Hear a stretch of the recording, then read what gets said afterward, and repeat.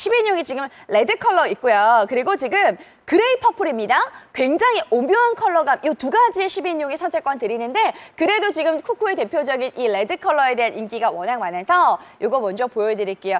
야, 이거 뭐 전체적으로 굉장히 동그스름하면서도 굴곡이 아주 부드럽게 처리가 되어 있다 보니까 입체감이 느껴지면서도 굉장히 예뻐요. 그쵸. 굉장히 아주 슬림하면서도 위쪽에 지금 이렇게 하나의 스와로브스키 스왈로브스키 스톤이 이렇게 한번 딱 박혀 있기 때문에 네. 아마 여성분들이 디자인적인 완성도를 워낙 좋아하시면 서 그쵸. 많이들 사랑을 보내주셨거든요. 음. 네, 앞쪽에 지금 저희 기능들을 보여드리고 있습니다. 화이트 LED 창으로 되어 있어요. 이거는 아마 CF에서 많은 분들이 보셨을 텐데 봤을 때도 뭔가 사양이 남다르고 음성 기능이 들어가요. 고화력 고화력 기능 들어갑니다. 네. 현미바라 시- 현미바라 고화력 고화력 시간 기능이 들어가면 워낙 밥맛이 좋아지고 또 하나 김초밥 홍삼 야. 시간 와우. 버튼으로 요리 시간을 대단합니다. 진짜 정점을 찍네요. 눌러주세요. 진짜 홍삼 기능이 들어가게 되면 네. 이제 뭐 밥솥 그 이상의 기능을 같이 가져가시니까 이 안에서 홍삼 유효 성분 추출까지 모두 다 가능하면서 네. 안쪽에 이제 내부 기능들을 한번 보여드릴게요.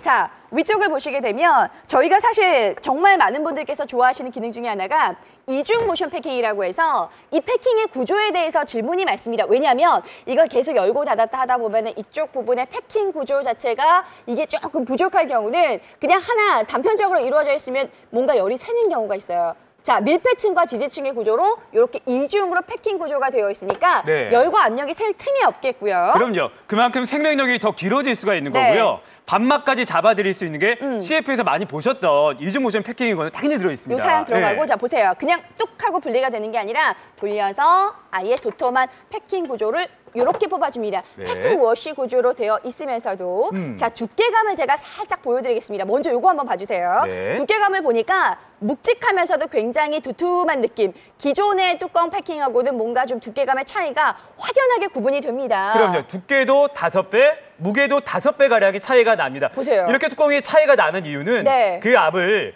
이중 모션 패킹과 더불어서. 또 한 번 잡아줄 수 있는 비밀을 가지고 얘가 지금 이렇게 거거든요. 뚜껑이 덮이면서 눌러주겠죠. 예. 이 두툼한 압력과 힘을 가지고 눌러주는 느낌을 우리가 우리 조상님들의 지혜에서 본 가마솥의 이 압력 있죠. 음. 이걸 요 패킹 뚜껑 두께감으로 과학적으로 재현해낸 쿠쿠의 기술력이라는 거죠.